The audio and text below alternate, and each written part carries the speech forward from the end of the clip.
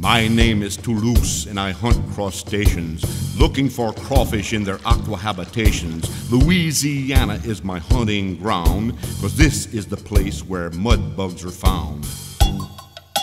Crawfish can be just a little slippery. They escape your net just like Harry Houdini. And when they get away, I always hear them say,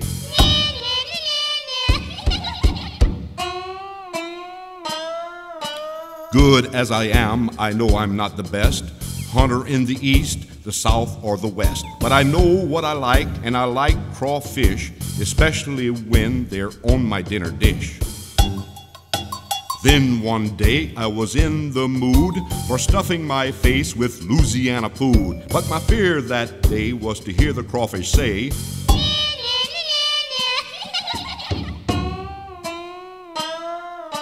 Like my dad and my grandfather too, we have hunted crawdads here in these bayous. When it comes to hunting and catching crawfish, to be a better hunter was my number one wish.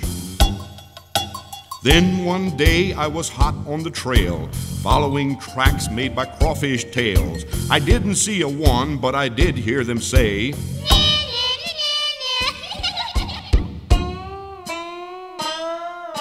Crawfish have got quite a southern reputation. When it comes to food, they're a tasty sensation. If you try them too, you will know what I mean, and you will be a part of the Louisiana scene. For a hunter, I'm a pretty skinny guy, but I wouldn't be this way if I had my crawfish pie. And I know they're around because I always hear them say,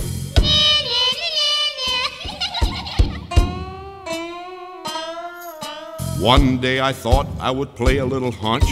This could be the day I would have my crawfish lunch. I scooped real deep, and in my net I saw a little crawfish waving his little crawfish claw.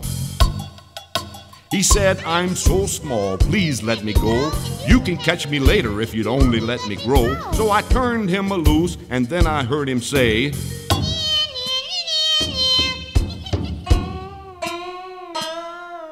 My name is Toulouse, and I remember when I used to hunt for crawfish, but never again. I never want to hear another crawfish say,